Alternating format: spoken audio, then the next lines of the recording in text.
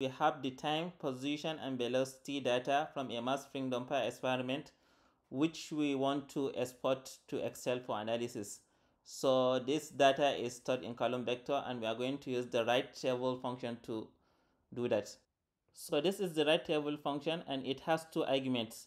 The table that you want to place in your Excel sheet is the first argument and the name that you want to give to your Excel sheet is the second argument.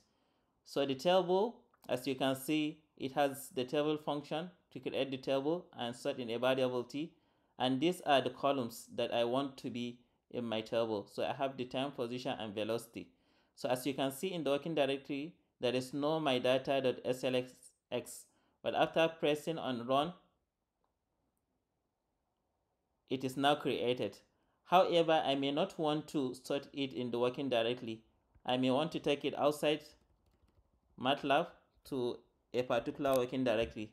So if I want to take it to MATLAB hub, which is on my document, after clicking on run, so I will expect it to be there. So going to my documents and MATLAB hub. So here is my data.slx. So let us open it and see.